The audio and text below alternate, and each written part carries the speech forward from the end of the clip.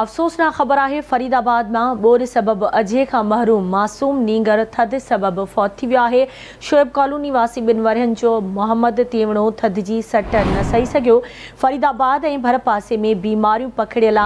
सौ का वधीक हयातियूं ज़ाया थी चुकियूं आहिनि जॾहिं त ॿोॾि खां पोइ अजनि महरूम हज़ारे मुतासर थद सबबि बीमार थी पिया आहिनि जो ख़दशो वधी वियो आहे